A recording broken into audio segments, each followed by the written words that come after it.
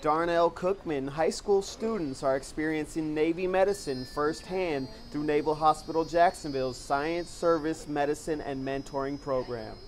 Well, we're happy to have you here, and I know um, many of you have been selected um, from a, a, vast group of uh, your colleagues, and this is a great opportunity, and we hope that while you're here, you, you get to see and do a lot and learn a lot.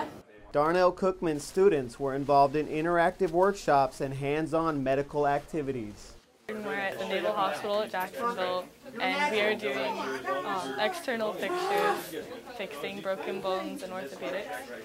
And I think it's absolutely fun. From Navy Public Affairs Support Element Southeast, I'm Petty Officer Salt Cebe.